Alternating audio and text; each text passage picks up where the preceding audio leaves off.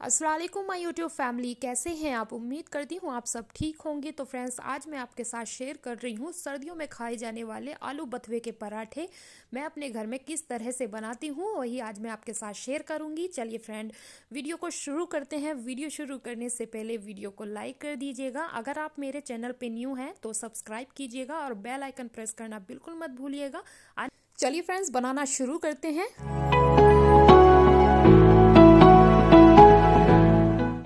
देखिए, मैंने ले लिया है मिक्सी का जार। छः से सात में इसमें हरी मिर्च डालूँगी और एक पीस मैं डाल दूँगी अदरक का और छः से सात मैंने लहसुन की कलियाँ ले ली हैं और अब मैं इसको दरदरा पीस लूँगी।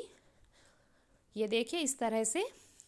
और देखिए, मैंने बथुए को अच्छे से धोकर उबाल लिया था। एक सीटी लगा ली थी मैंने और इसका सारा जो पानी था मैंने निकाल लिया था। हाथों से मैंने निचोड़ लिया था अच्छे से। अब मैं इसे भी इसके साथ पीस दूँगी मसाले के साथ। ये देखिए, अच्छे से पीस चुका है।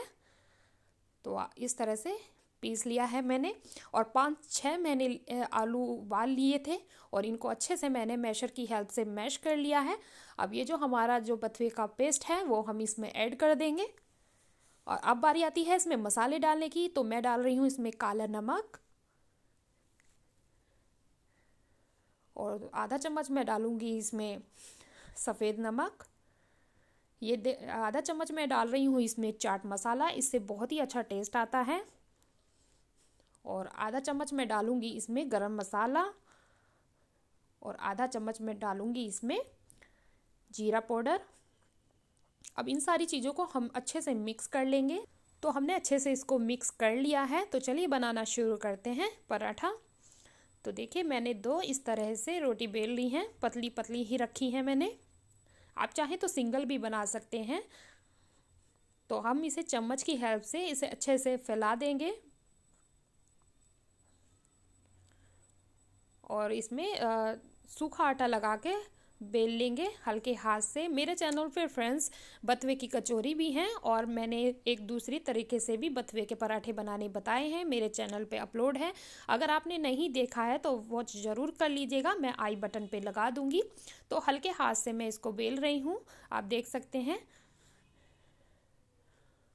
तो मैंने गैस पे पैन रख दिया था। पैन हमारा अच्छे से गर्म हो चुका है।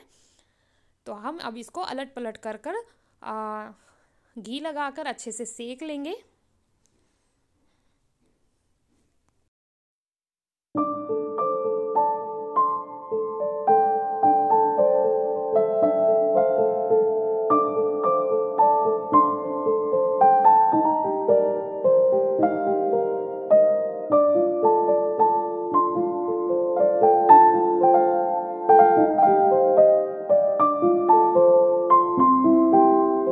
फ्रेंड्स बर्थवे के पराठे हो गए हैं तैयार। तो चलिए मैं आपको सर्व करके दिखाती हूँ। तो ये देखिए, मैं आपको खोल कर दिखा रही हूँ। चारों तरफ़ से अच्छे से फैले हैं।